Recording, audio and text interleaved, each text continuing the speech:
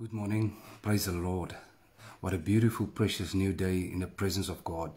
It's a new day of God's anointing. It's a new day of the wisdom of God. It's a new day of the glory of the Lord Christ in your life. And uh, it's precious to be early in the morning in the presence of the Lord, especially in a devotion like this. So thank you for joining me. My prayer is that God will bless you and that your heart will be revived and that you will receive the, uh, the freshness of the Word of God every morning. Praise the Lord. So we are busy in Matthew chapter 5, uh, 7, and let us continue to read from verse 24 up to 27. And Jesus uh, was speaking and teaching, and he says, Therefore, whoever hears these sayings of mine and does them, I will liken him to a wise man who built his house on the rock. And the rain descended, the floods came, and the winds blew and beat on that house, and it did not fall, for it was founded on the rock. But everyone who hears these sayings of mine and does not do them will be like a foolish man who built his house on the sand. And the rain descended, the floods came, and the winds blew and beat on that house, and it fell, and great was its form. so uh, Jesus is busy concluding uh, the teachings that he gave. And these teachings started in Matthew chapter 5, um, where he was teaching all different kinds of things and speaking different things. And uh, one of the things that really stood out was in Matthew 5, verse 20, where Jesus said, Unless your righteousness is uh, exceeds the righteousness of the scribes and the Pharisees, you will never enter the kingdom of heaven. Um, so, this is the teachings that will help us where our righteousness will be greater and will be exceeding the righteousness of those people in the day, the religious believers of his day. And so many uh, times uh, in our day, we also have people believing in a, a, religious way. They hear the word of God, they know many scriptures, they know many of the stories of the Bible, but somehow they never apply the Word of God. Somehow they never become doers of the Word of God. And this is what Jesus is saying. If you want to be a wise man, you not only have to hear the instructions of God, you not only have to hear the Word of God, you actually have to become a doer of the Word of God. Uh, and likewise, if you want to be a foolish person, and only you in your heart knows whether you are foolish or whether you are wise. A foolish person is a person that can tell you stories about the Bible. He can tell you stories about Jesus. He can tell you stories about Elijah and Eli, uh, uh, uh, Elijah and all the great men of God and about Abraham and Adam and Jacob. And they can tell you the stories about how Jacob was uh, wrestling with the angel and all these beautiful things they can tell you but they never started doing what God instructed them. And Jesus says, those people will be likened like a fool who built his house on the sand. A rock is immovable, a rock is solid. Sand, on the other hand, is movable. Just think about the desert in Namibia, how the wind uh, uh blows the sand uh, wherever it wants, and tomorrow there's a dune here, and next week the dune has been moved just by wind.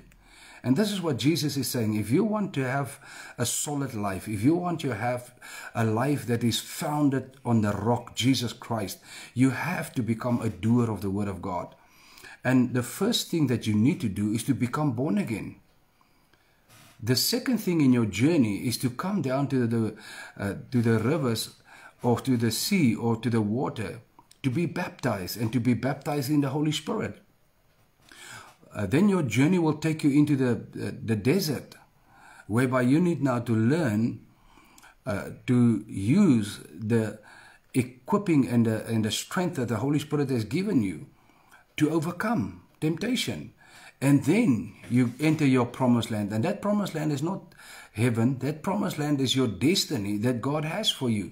And remember when the Israelites came into their promised land in Canaan, what happened? They had to fight to uh, uh, war out all the uh, uh, enemies and all the inhabitants in the land so that they can actually occupy their blessing. And it's the same way with your life and my life. There are so many enemies that are occupying our life and occupying our blessing and and and, and we are struggling to to make ends meet because we never understood that it is a, a life that needs to be built on a solid rock.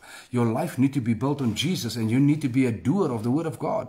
It's not good enough if you can only hear and try to pray one or two verses and try to pray, pray one or two sentences. Uh, it's not how it works. Christianity is a, is a deep seated uh, uh, uh, um, move that happens in your spirit. And from within you it start to change your mind and your understanding of god.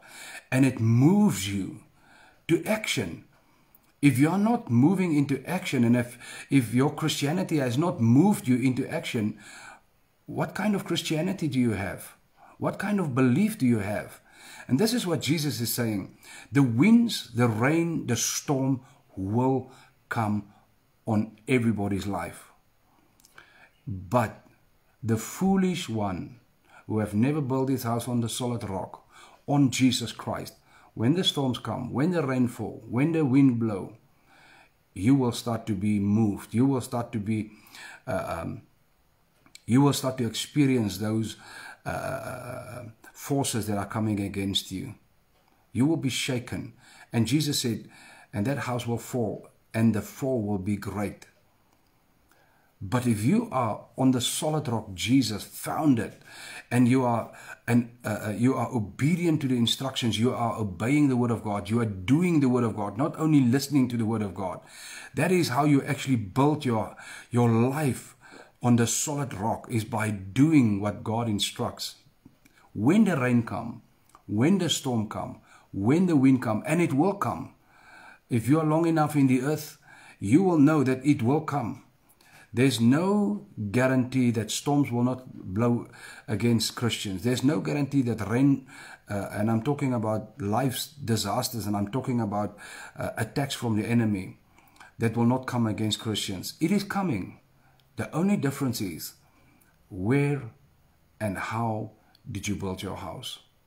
if you have built your house, if you have built your life, if you have built your, your business, if you have built your marriage, if you have built your children on the rock Jesus Christ, when the storms come, you will keep standing like a wise man.